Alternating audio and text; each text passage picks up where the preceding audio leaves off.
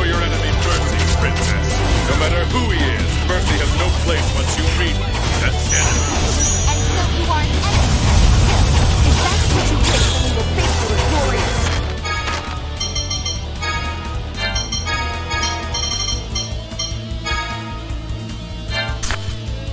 For you, Largo, simple promise to the very end. I'll fight you with everything I have. It's too bad. I don't mind idiots like you.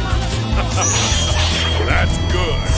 The Black Lion might be a fool, but he's not weak. I give you fair warning as fellow Oracle Knight. I will not weak either. Very well. Come, children. Let me crush you. No way! Thunderblade!